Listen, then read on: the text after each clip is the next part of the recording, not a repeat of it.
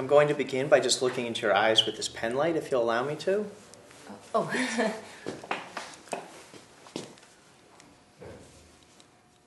I'm sorry for the way I behaved the other day during the questionnaire.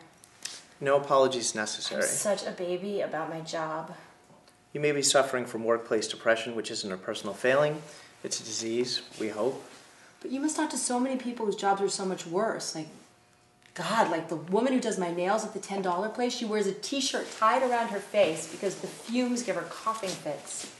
And you know, I don't know, rat catchers, lunch ladies. We're developing this drug for patients with a household income of at least $65,000. Really? I don't get sent to screen the working poor, they're not our target patient population. I didn't know it worked like that. They don't have health insurance. Costs $2 billion to develop a drug. You have to be able to sell it to someone. Now, if you would just open up your gown and lie back flat. Are you actually a doctor, doctor? Yes. Great. sorry.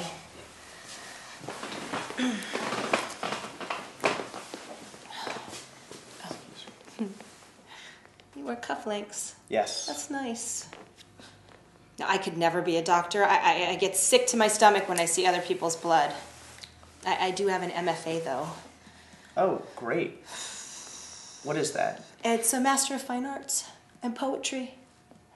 I can dissect a text. Just a little pressure here. I haven't read much poetry. I, I like it when I hear it, but busy, I guess. William Carlos Williams was a doctor. Do you know William Carlos Williams? So much depends upon a red wheelbarrow glazed in rainwater. Oh, God! Is something wrong? No, it's whatever you did just I'm now made me feel a little jumpy, that's I, all. I apologize. May I push down firmly right here? yes. And a deep breath in, if you would. I'm sorry. It's quite all right, Miss Pierotti. Are you going to put me in the study? My colleagues and I will review your files. I We'll really want to be in the study. I understand there's a committee, and well, there's. A, Oh, sorry. that's that's actually fine for now. You can get dressed. That's it? That's it for now.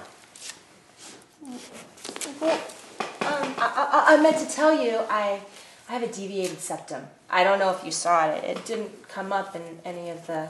You can look if you want. That's the whole thing for right now. I don't know why I hate my job so much. I just, I feel like I was meant for something better. Isn't that sort of disgusting? I think that's perfectly understandable. You can just check out with Joan after you change. She'll explain what happens from here. Okay, great.